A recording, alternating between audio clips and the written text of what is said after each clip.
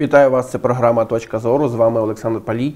І сьогодні гість нашої студії Борис Сулицький, людина, е, захисник е, нашої державної комори України, держа... системи державної е, резерву, захищає її від розкрадання і від того, щоб її не розвалили, наскільки я розумію. Ми в минулій передачі Борису Миколаївичу з вами говорили. Е, Про те, е, як зберігаються ті чи інші ну е, інша продукція в системі держрезерву, чи там коли передається на зберігання комусь Нафтогазу і так далі. А от цікаве таке питання зараз. У нас кажуть, що були погані кадри раніше. Зараз прийшли молоді, талановиті, фахівці, менеджери бізнес-адміністрування і так далі, які знають, як треба керувати, як навести лад. То е, наскільки я знаю, ми про це з вами колись говорили в передачі, що е, насправді не тільки лад не почав наводитися, все навпаки. От і ті менеджери е, ефективні, як ви з ними працювали, як голова проспілки і ваша проспіл- проспілка, е, які показали себе як гарні соціальні партнери, е, їх чомусь всіх позвільняли.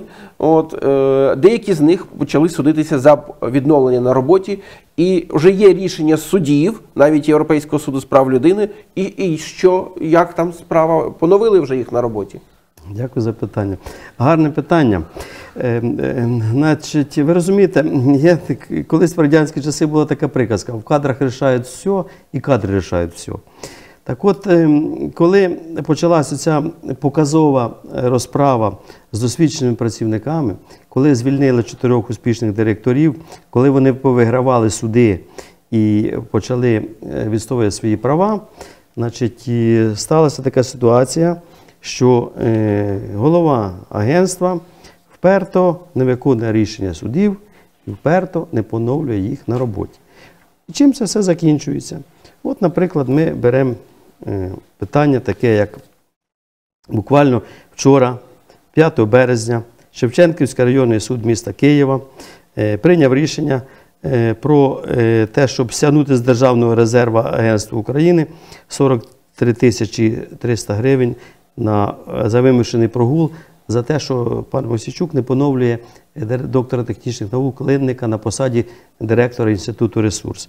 До цього було присуджено раніше ще е, присуджено 109 тисяч гривень е, за вимушений прогул і 10 тисяч гривень моральної шкоди. Але не дивлячись на це, що це все було присуджено, е, рішення не виконано, тому Державна виконавча служба написала згідно закону в слідче управління Національної поліції міста Києва повідомлення про вчинення боржником кримінального правопорушення. Оскільки е, не виконується, значить, е, слідчий, старший державний виконавець Башилов написав, що на підставі вище викладеного, оскільки вичерпані всі можливості, накладались два рази штрафи на юридичну особу, як на агентство. А тепер е, буде порушуватися кримінальна справа. Е, Відповідно до статті 382 Кримінального кодексу, е, значить, е, як вбачається з наведеним головою Державного агентства резерву України, не вжито заходів щодо належного виконання рішення суду станом на 02.02.18 рішення суду боржником не виконано. На підставі виконаного просимо розглянути питання стосовно відкриття кримінального провадження по факту умисного невиконання виконавчого листа на підставі статті 382 Кримінального кодексу Е, України. Пане Борисе, я ніяк не можу зрозуміти. Ну, є рішення суду. Ну, виконує рішення суду. Як вони якось обґрунтовують невиконання? Е, Розкажу, як обґрунтовують невиконання. Є посада директора. Коли вони бачать, що рішення суду програють, новий директор, який назначений після звільнення старого директора, пише доповідну записку пану Мосійчуку, в зв'язку з якимись там обставинами, прошу внести зміни до штатного розпису, ліквідувати посаду директора і ввести посаду генерального директора. На другому підприємстві, навпаки, де є посада генерального директора, треба внести зміни до штатного розпису, ліквідувати посаду генерального директора, як на комбінаті Дніпро, е, тобто директора, ввести посаду е, директора. І такі махінації, тобто. е, Тобто, по суті, йде маніпулювання, Маніпулювання, е, да. нормами закону. Да. Формально вони Формально, да. праві, ну мають право це робити, але фактично ми розуміємо, що це затягується Це час. називається перешкоджання виконанню судового рішення. 382 стаття Кримінального кодексу умисне перешкоджання. І ще інше, це ж робиться не одним, не одною людиною, а робиться групою осіб. Тобто два, два і більше. Це 28 стаття Кримінального кодексу з вчинення злочинів групою осіб два або більше. Директор подає е, голові Держрезерву клопотання, ти його розглядує, е, назад е, погоджує новий штатний розпис. І типа нема ж куди поновити, нема посади такої. Суди такого не визнають. Це все значить, е, свідоме невиконання рішення суду і перешкоджання виконанню. Тому будуть порушені кримінальні провадження. Ще одне питання.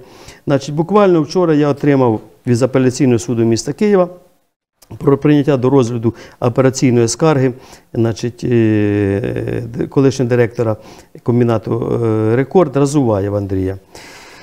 Я був на суді першої інстанції, ну, у нього була трагедія особиста, мати хворіла, онкологія була, пропустив там термін.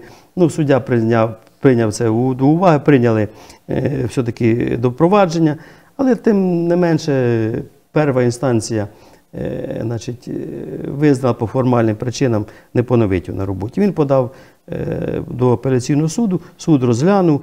На жаль, мати в нього померла таки в кінці 2017 року. Людина подала заяву через адвоката. І що цікаво, я почав знайомитися з е, матеріалами справи. Виявляється, пан Разуваєв е, в 2014 році, році був нагороджений орденом імпорт-експорт Авард. Е, Це е, бізнес-рейтинг в Україні. От такий був. За те, що він один єдиний в Україні на державному підприємстві організував митний пост. Почав зовнішньоекономічну діяльність. Підприємство нагороджено е, прапором перехідним. Тобто нормальний бізнес був, нормальна державна структура нормально розвивалась, нормально працювала. Ну, прийшли реформатори, все поламали. Зараз на цьому комбінаті декілька кримінальних проваджень, декілька там і нещасних випадків. і все таке Ну, інше. зачекайте, все поламали. А може людям стало краще жити? Новий директор, підвищив зарплати, е, соціалку збільшив, стало люди весело ходять на роботу. Технологічне переоснащення відбувається чи ні? Е, Ви знаєте, мені це нагадує анекдот, е, коли Чукча був у Москві, каже, людям стало е, е, все во ім'я чоловіка, все для блага чоловіка. Чукча говорить, я навіть бачив цього чоловіка. Так у нас, да, дійсно, керівнику і його оточенню, групці невеликих людей стало краще жити краще. Вони почали отримати великі премії, все таке інше. Але факт є факт, е, що люди отримують е, мінімальну заробітну плату, невеличку там надбавочку і все. А все остальне е, Ну, а, а чи є ресурс для того, щоб їм збільшити зарплату теоретично? Ресурс є, але для цього треба справедливо розподіляти заробітну плату серед членів трудового колективу. Угу. Тобто не топ-менеджмент, щоб отримував Да, сот- сотні да. тисяч гривень, да? Да. От. І йдуть такі, знаєте, процеси, коли е, наказами по Держрезерву надаються дозволи виплачувати свої премії по 500% або по 40 окладів на комбінаті салют. Це є ознакою використання премії як незаконного збагачення. І ми це питання будемо піднімати. Тому що люди масово, дивлячись на це неподобство, масово звільняються підприємств. На Кіровоградському КХП люди вже масово звільнились, тому що, по-перше, нема зарплати. І, оскільки кадри вирішують все, давайте перейдемо від питання кадрів до результатів діяльності. От оце ж і хочеться зрозуміти, чому керівництво Держко, Держрезерву не відновлює фахівців, і су- суд ну фактично визнав, що це фахівці е, гарні, е, тому що інакше б не відновив би їх, мабуть, на е, посаді. Чому не хоче? Може, там такі. Ну, зірки, як то кажуть, е, генії працюють на, зараз на посаді директорів, що все краще стає з кожним днем. Чи, чи навпаки? Е, Краще стає з кожним днем, я ж кажу, для кубки е, керівників і їхнього найближчого оточення. Візьмемо покращення на комбінаті салют. Порушено декілька кримінальних проваджень. Тільки хлопці прийшли на комбінат салют, взяли, закупили компресори.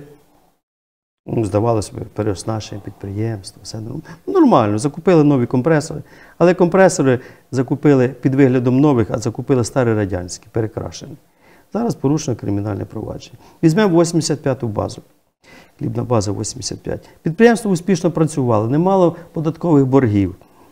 Ні, треба було забрати 14 тисяч е, зерна, перемістити на державне підприємство Златодар, яке знаходиться в стадії банкрутства.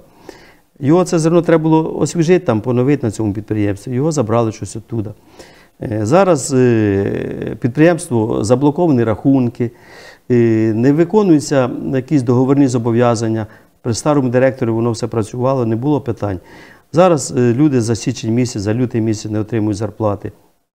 І візьмемо інше підприємство, таке як 76-77 база. Е, продали все зерно державного резерву.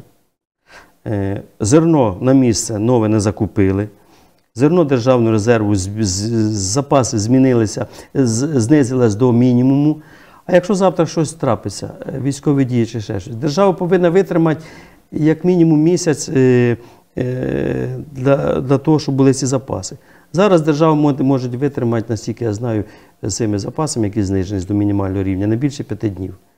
От і вся робота керівництва Держрезерву. Я правильно розумію, давайте акцентуємо для е, наших глядачів, е, що люди, які відповідають е, за е, забезпечення країни у випадку надзвичайної ситуації чи військового стану, належно, щоб все належно функціонувало, е, там паливно-мастильні матеріали, там зерно і тощо там ну ціла номенклатура е, товарів, що вони отримують або е, як правило мінімалку. Або взагалі не отримують зарплату, йде затримка по зарплаті. Е, По-перше, отримують мінімалку. По-друге, люди дивляться на це неподобство масово, звільняються в обласних центрах, десь хтось виїжджає за кордон. Е, Ну, ще більш ситуація така в районних центрах. Ну там реально немає знайти куди роботи. Люди тримаються до останнього в надії на те, що їм виплатять борги по заробітній платі.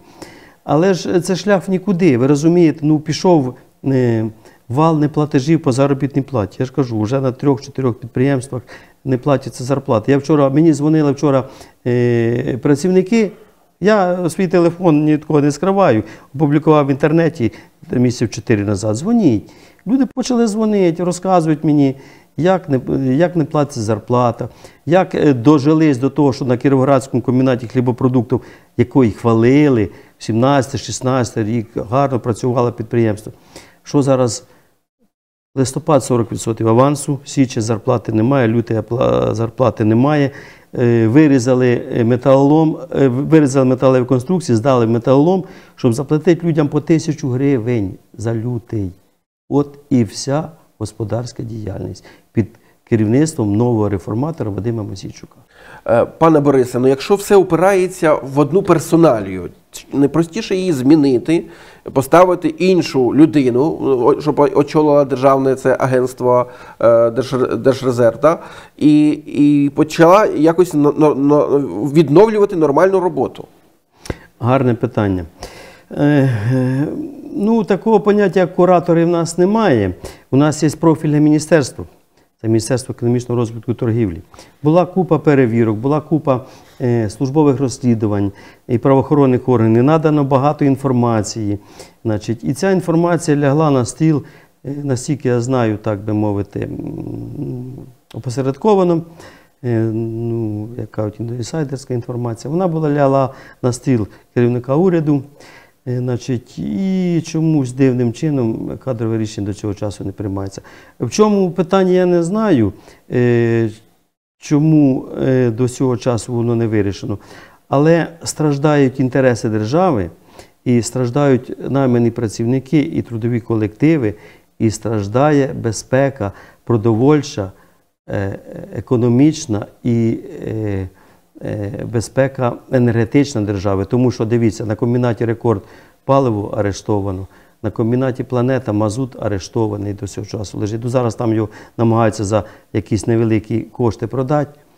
Е, е, Закладення е, закупили, наприклад, дивна ситуація. Закупили в компанії Сокар арктичне топливо, паливо. У нас Арктика, у нас 40 градусів морозу. Закупили на 500 майже мільйонів гривень. Розумієте? Е, Пройде час, паливо треба освіжувати. Хто його купить в Україні це паливо? Кому воно арктичне потрібно буде, паливо. да. Кому воно потрібне? Ну, можливо, е, можливо, це зроблено в інтересах е, е, Північного флоту Росії. Можливо, їм потрібне буде таке паливо потім. Ну, розумієте, такі несуразні речі відбуваються, складається враження, що робиться все на шкоду інтересам держави. І чомусь до цього часу кадрове рішення не приймається прем'єр-міністром. Отже, ми, як то кажуть, підняли питання, що є проблеми в Держрезерві, і їх потрібно вирішити якомога швидше. Дякую вам, пане Борисе. Це була програма Точка зору. На все добре.